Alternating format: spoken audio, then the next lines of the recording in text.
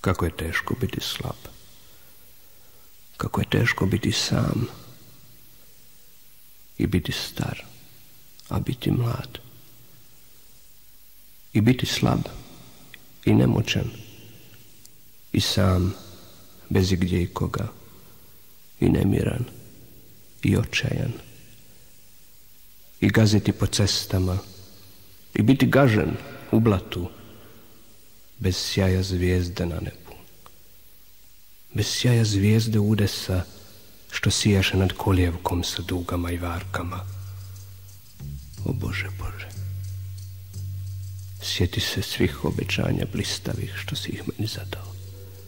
O Bože Bože sjeti se i ljubavi i pobjede i lovora i darova i znaj da sin tvoj putuje dolinom svijeta turobnom po trnju i po kamenju od nemila do nedraga i noge su mu krvave i srce mu je ranjeno i kosti su mu umorne i duša mu je žalosna i on je sam i zapušten i nema sestre ni brata i nema oca ni majke i nema drage ni druga i nema nigdje nikoga do igle drača u srcu i plamena na rukama.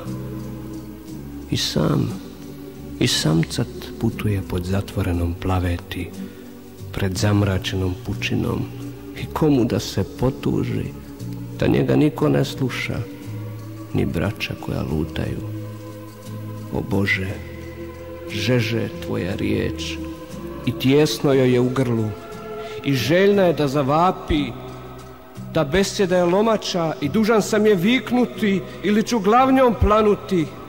Pa nek sam krijes na brdima pa nek sam dah u plamenu kad nisam krik sa krovova. O Bože tek da dovrši pečalno ovo lutanje pod svodom koji ne čuje.